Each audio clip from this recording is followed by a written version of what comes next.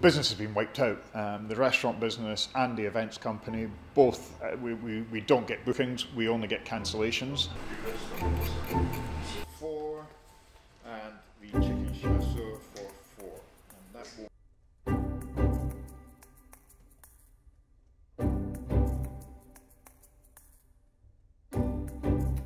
we started putting into uh, planning a week ago uh, self-isolation delivery service where we are going to prepare food and deliver it to our customers who can't or who won't leave the house.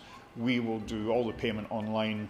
We will let them self-isolate. We arrive, ring the bell, step away from the door, and give them instructions on, on what their, their packages can contain. Some of it will be standardised. We're doing a chicken and leek lasagna. We're doing some smoked haddock. We're it's good Scottish in, ingredients that you know we know are going to get a, an availability, and the, the menu will be fluid. If we have to adapt it, if, if a product isn't available, then we'll we'll we'll find out what we can get on, and we, we, we're going to adapt the menu and put that on the website.